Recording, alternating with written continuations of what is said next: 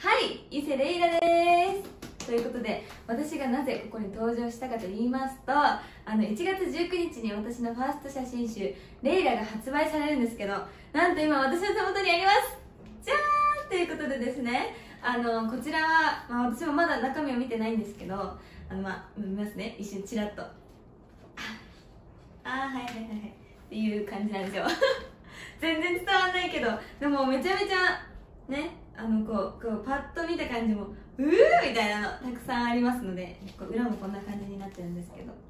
あのぜひ皆さんファースト写真集「レイラ」たくさんの方に見ていただきたいと思います。お,、ね、お願いします。間違った。